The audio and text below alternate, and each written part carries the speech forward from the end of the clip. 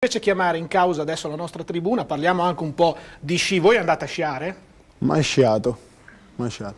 Ma io l'ho fatto due volte, spazzaneve. Risultati? Ma, era la, la, la, quella semplice di Madonna di Campiglio, siamo stati in piedi, dai.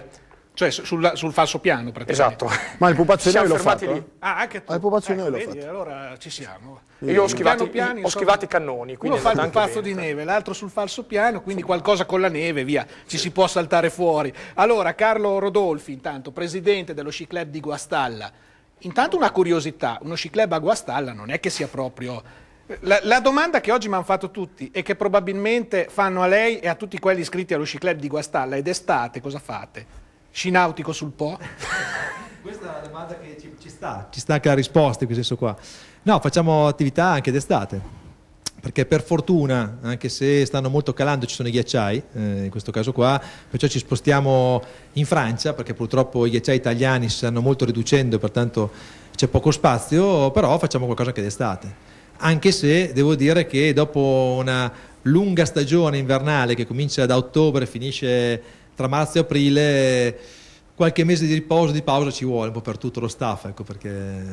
Bisogna recuperare, insomma. Sì, bisogna recuperare tanto. Anche Ecco, perché... Ma per dare un'idea, i numeri dello sci club di Guastalla.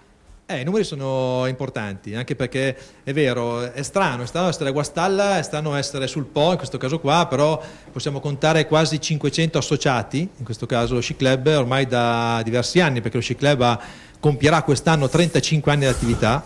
Spero che non vi muoviate tutti assieme perché siete peggio della squadra di football americano. Eh. Diciamo che La squadra di football americano fa le trasferte in 80, ma se voi vi muovete in 500...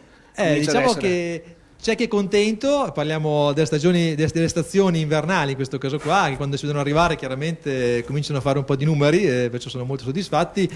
Diciamo che è un, po meno, un pochino meno contento la nostra segreteria, amministrazione, la quale che deve gestire un po' il tutto e deve veramente impegnata, tanto impegnata su questo aspetto.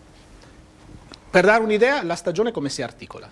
Diciamo che l'inizio, della stagione comincia a settembre eh, con la classica pescistica che facciamo sia per gli adulti che per i bambini e questo qua fino al mese di dicembre, giusto per dare un po' di preparazione a tutti.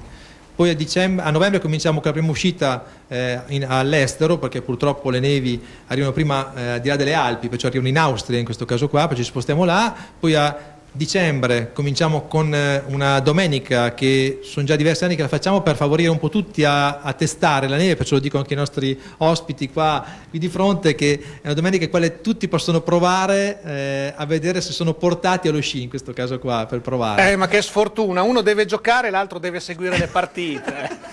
Diciamo che hanno la scusa pronta. Eh. Ah, non ce l'abbiamo ambientato per contratto.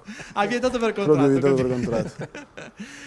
E poi invece la vera stagione, il cuore della stagione comincia adesso perché già da domenica cominciamo con i corsi di sci, che sono quattro domeniche, mese di gennaio incentrato, nella quale quest'anno eh, con soddisfazione e con un po' anche di preoccupazione, visti i numeri, avremo circa 160 persone che vengono a fare i corsi di sci, cioè un bel, un bel numero veramente che ci fa piacere perché vuol dire che stiamo lavorando anche positivamente.